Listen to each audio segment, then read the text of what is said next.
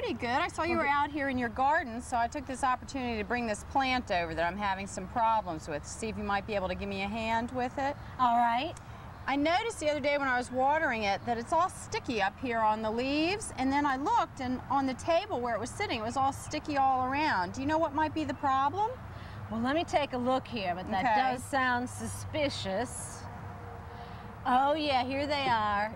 What you got here is scale. You can Mhm. see a little bit here, Oh, yeah. and some, got one hiding down in here, Uh-huh. and I can see some down in the sides of the stems Oh, yeah. here also. Uh-huh. And that's an insect that'll eventually suck the juice out of your plant and kill it. Gross. What So- can we do about it? Well, we need to kill it first. okay.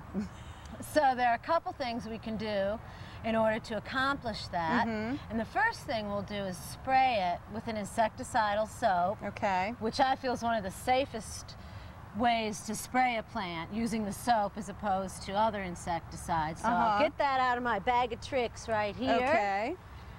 And I'll get my gloves. It's always a good idea to wear your gloves whenever you're doing any kind of spraying. So if they still fit, I can wear them. And then we'll get to spraying here for you. Okay.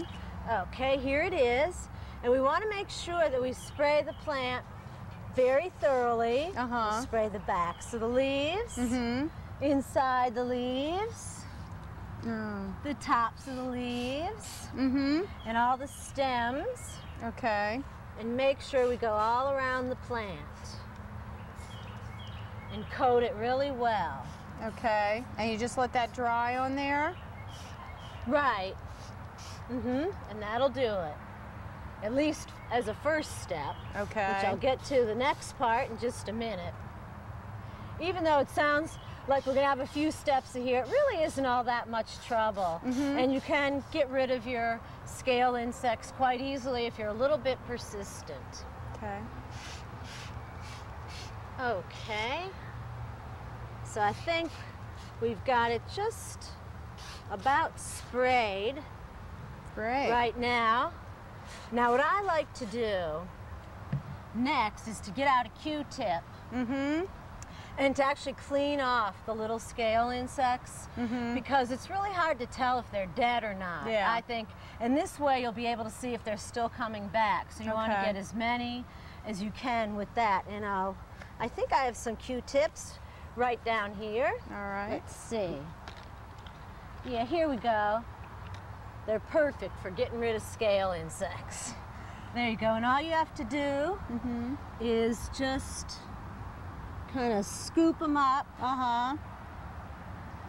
and that's it. You can only get a few on each Q-tip, so you probably need a lot of Q-tips. Oh, they come right off. right, but look real carefully around Okay. And see if you can get as many of them off as possible. All right. So anyway, Anne, that should take care of your problem. Well, thanks a lot. but if it gives you any more trouble, come back. Well, I know where to find you. Okay. Thanks a lot. Well, you're welcome. Bye. Bye-bye.